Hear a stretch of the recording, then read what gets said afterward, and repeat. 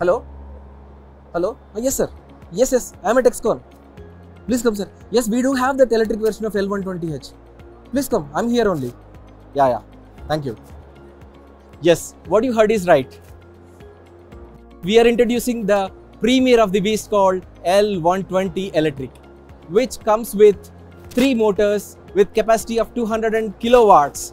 And this machine has a battery capacity of 282 kilowatt hour, which can run for 6 to 10 hours after charging of 1 hour.